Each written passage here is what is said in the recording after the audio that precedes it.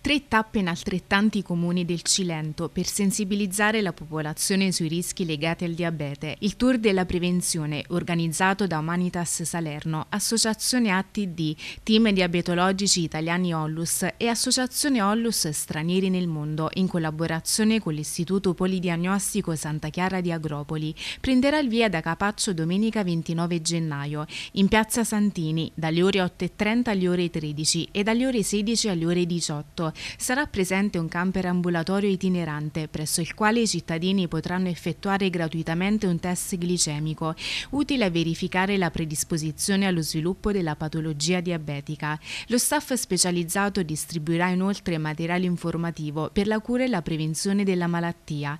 L'iniziativa denominata Il diabete, meglio se lo conosci, ha raccolto il patrocinio della provincia di Salerno e dei comuni interessati dal tour, Agropoli, Capaccio e Castellabate.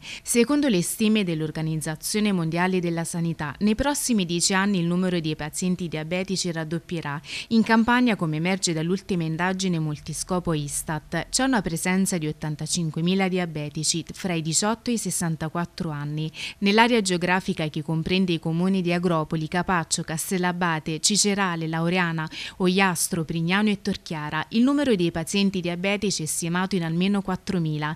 Le prossime tappe del tour della prevenzione convenzione si svolgeranno a Castellabate, in piazza Lucia e ad Agropoli, in piazza Vittorio Veneto, rispettivamente il 19 febbraio e il 26 marzo.